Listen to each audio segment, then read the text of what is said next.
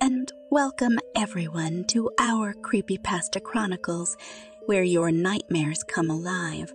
If you're ready to dive into the realm of the eerie and unexplainable, you've come to the right place. Don't forget to turn off the lights, put on your headphones, and let your imagination paint the most chilling images.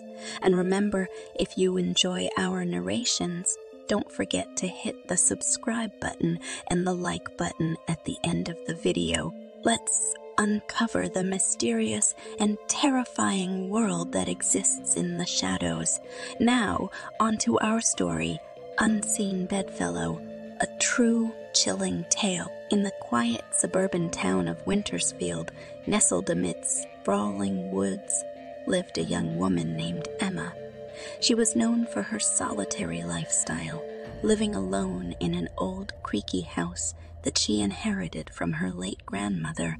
Emma's only companions were the whispering winds and her own echoing footsteps. One tranquil night, Emma retired to her room, the house lulled into a serene silence. She slid under the covers, comforted by the soft hum of the house settling. Just as sleep began to claim her, she felt a weight shift at the foot of her bed. Dismissing it as her imagination, she closed her eyes. A few moments later, she felt it again, this time nearer. A cold dread slid down her spine. She froze, eyes wide open, heart pounding in the quiet of the room. She turned on the bedside lamp. The room was still, the bed empty except for her. She sighed, chiding herself for her childlike fears.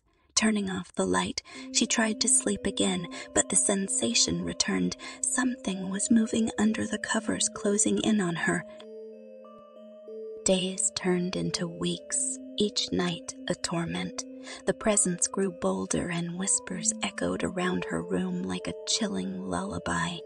She could feel the presence breathing beside her, even feel the non existent bedmate shifting positions. Emma was trapped in a living nightmare. She sought help from the local priest and paranormal investigators, but they found nothing.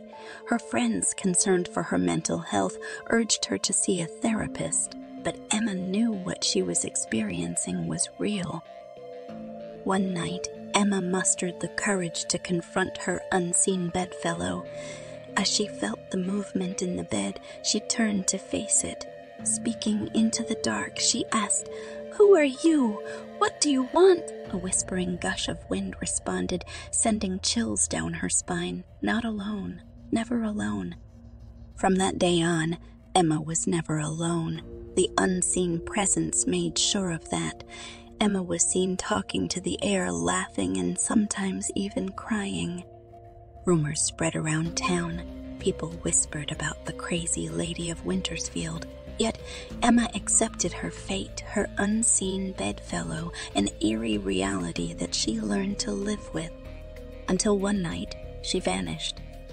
The townsfolk found her house eerily quiet, her bed made with precision, but Emma was nowhere to be seen, no trace of struggle or departure. The only clue left behind was the chilling echo in the empty house, not alone, never alone. To this day, people say Emma still resides in the old house, not alone but with her unseen bedfellow, lost forever in her never ending nightmare. Sleep tight, dear listeners, and remember to check under your bed tonight. If you enjoyed our chilling tale of unseen bedfellow, don't forget to hit the likes button. If you want more chilling tales and creepy pastas delivered right to your screen, don't forget to hit subscribe. We're always here, ready to guide you through the darkness, unveiling the uncanny mysteries that lurk in the shadows. We'll be back soon with another eerie story to keep you up at night. Until then, remember, you're never truly alone. Good night, stay safe, and remember, there's always something watching from the unseen.